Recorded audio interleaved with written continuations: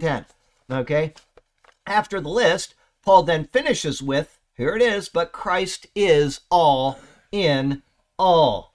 The presence of Christ in a believer is all that matters. In him, all distinctions are swept away, and all are on an equal playing field.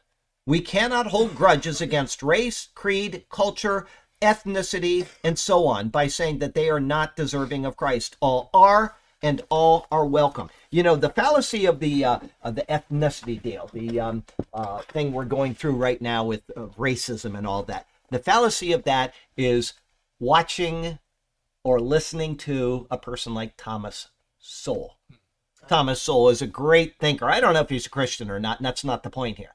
The point is that he is a great, great thinker. Yes. He's conservative. He is a person that anybody that is normal brained would say, This is a great man. Mm. He is a great, great person. And what does the left do? They excoriate him.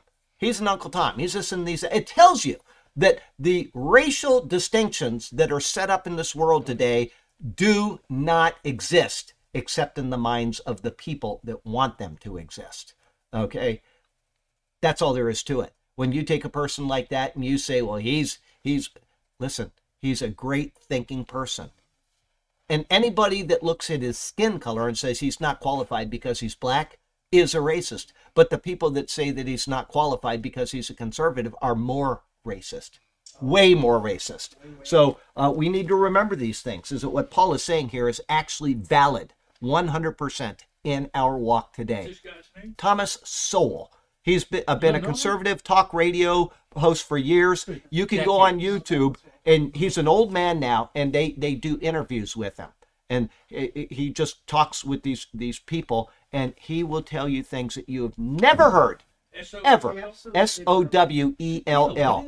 He's he is an absolutely wonderful thinker. He's a, he's like a Dennis Prager, okay, but he's he's a, a black guy, and he is despised by the left because he is a great conservative thinker.